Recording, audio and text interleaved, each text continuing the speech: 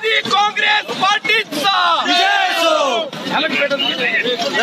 petrol डिझेलची दरवाढ करणाऱ्या या मोदी सरकारचा पेट्रोल डिझेलची दरवाढ करणाऱ्या या मोदी राष्ट्रवादी काँग्रेस पार्टीचा